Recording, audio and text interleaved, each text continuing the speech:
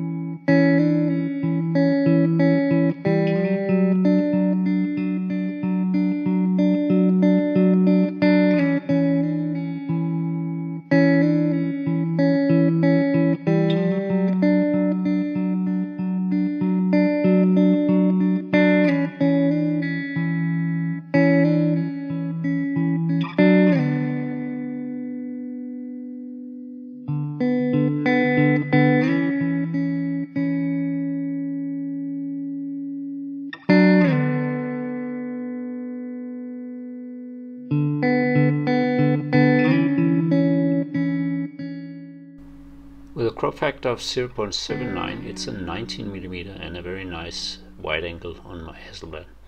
As you can see it's a pretty small lens although uh, not quite a pancake lens and it also weighs very little.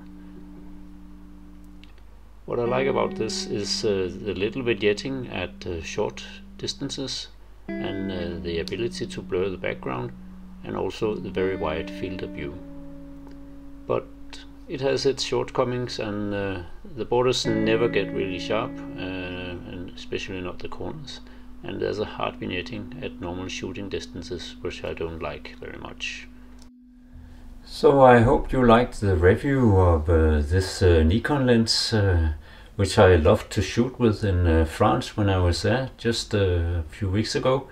Um, if you liked the video, please uh, hit the like button and also subscribe to my channel so you can get more videos like this from my side. So thank you very much for this time and bye for now.